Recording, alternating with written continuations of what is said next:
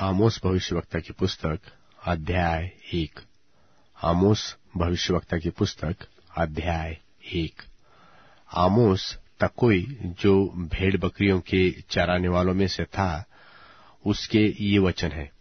जो उसने यहूदा के राजा उज्जिया के और योआश के पुत्र इसराइल के राजा यरोबाम के दिनों में, भूलडोई से दो वर्ष पहले, इसराइल के विषय में दर्शन में देखकर कहे, यहोवा सियोन से गरजेगा और यरूशलेम से अपना शब्द सुनाएगा। तब चरवाहों की चराइया विलाप करेंगी और करमेल की चोटी झुलस जाएगी। यहोवा यो कहता है कि दमिश्क के तीन क्या वरन चार अपराधों के कारण मैं उसका दंड न छोड़ूँगा, क्योंकि उन्होंने गिलात को लोहे के दावने वाले यंत्रों से रौंद डाला है। इसलिए मैं हजायल के राजभवन में आग लगाऊँगा और उससे बेहनदंद के राजभवन की भस्म हो जाएगी और मैं दमिश्क के बेंडों को तोड़ डालूँगा और आवेन नाम तराई के रहने वालों को और एदेन के घर में रहने वाले राजदंडधारी को नाश करूँगा और आराम के लोग बंधुए होकर कीर को जाएँगे। यहोवा का यही वचन है। यहोवा यो कहता है कि अज्जा के तीन क्या बरन चार अपराधों के कारण मैं उसका दंड न छोड़ूँगा, क्योंकि वे सब लोगों को बंधुआ करके ले गए कि उन्हें एदोम के वश में कर दे। इसलिए मैं अज्जा की शहर पनाह में आग लगाऊँगा और उससे उसके भवन भस्म हो जाएँगे और मैं अश्तोत के रहने वालों को और अश्कलोन के राजदंडधारी को नाश करूँगा और मैं अपना हाथ एक्रोन के विरुद्ध चलाऊँगा और शेष पलिश्ती लोग नाश होंगे।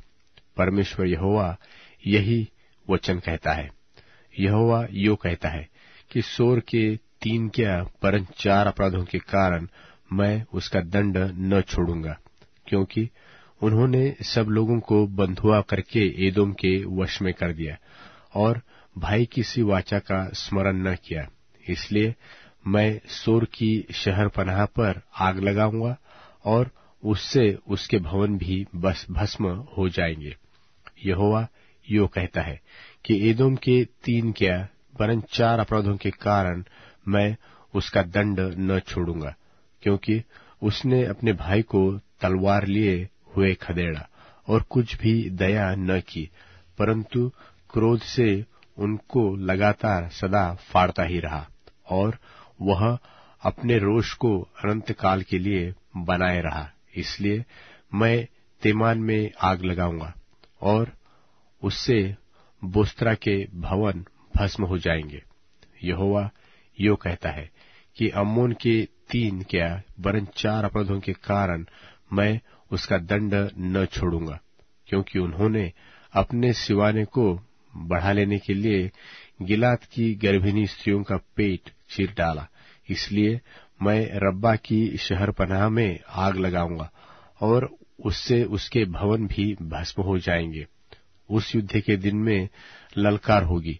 वह आंधी बरन बवंडर का दिन होगा और उनका राजा अपने हाकिमों समेत बंधुआई में आ जाएगा।